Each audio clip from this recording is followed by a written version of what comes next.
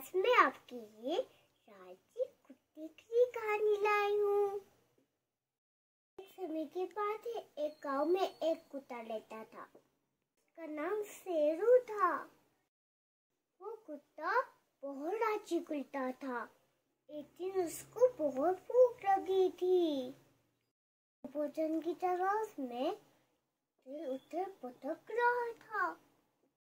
लेकिन उसको भोजन कहीं भी नहीं मिला और वो बहुत थक गया था कुछ देर बाद उसे एक रोटी का टुकड़ा दिखाई दिया रोटी को उसने तुरंत उठा लिया और वो रोटी को अकेले में बैठकर आराम से खाना चाहता था इसीलिए वो कोई एक आन जगह ढूंढ रहा था और जगह खोजते खोजते वो नदी के किनारे पहुँच गया।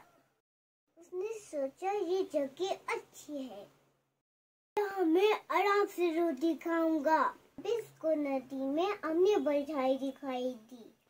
उसे हमने परछाई देख कर लगा, नदी में एक और कुत्ता है, जिसके मुँह में एक और रोटी का टुकड़ा है। उसे बहुत तेज भूख लगी थी।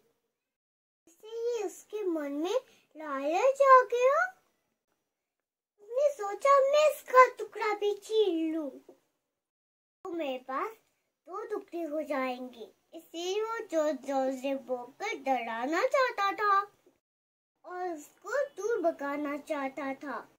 ऐसे ही उसने बचाई वाले कुत्ते को भोगा। कि रोटी का टुकड़ा नदी में गिर गया। उसमें आकर उसने टुकड़ा खो दिया।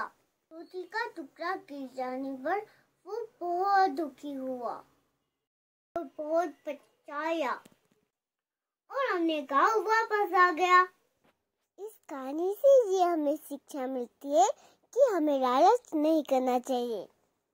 Subscribe to my channel